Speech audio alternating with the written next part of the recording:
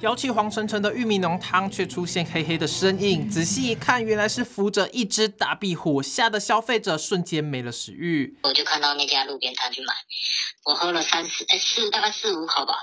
才发现，哎，里面怎么有一只壁虎？这样第第一次有吐，因为真的太恶心了，受不了。消费者控诉，二十号中午到高雄一家汤包店外带玉米浓汤，有一只完整大壁虎，分享在社群平台。周末店家没营业，业者特地跑一趟澄清，汤锅都有附上盖子，防止异物掉入，也没有收到消费者的抱怨，怀疑是故意抹黑。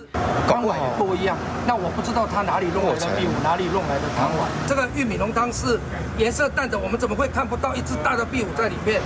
我觉得造假的成分非常非常高。不仅如此，影片上消费者的汤碗和店家现有的比较，花纹样式完全不同，更让业者打上大问号。虽然消费者表示不跟店家反映是怕业者想赔钱了事，尽管没通报，但卫生局将主动介入，会依既定作业程序派员稽查。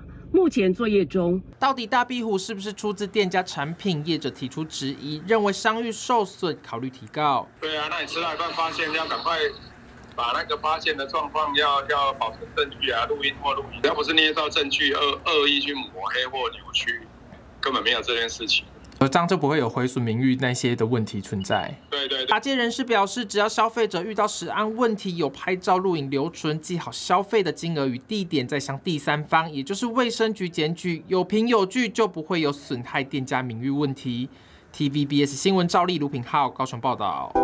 想看最完整的新闻内容，记得下载 TVBS 新闻网 APP。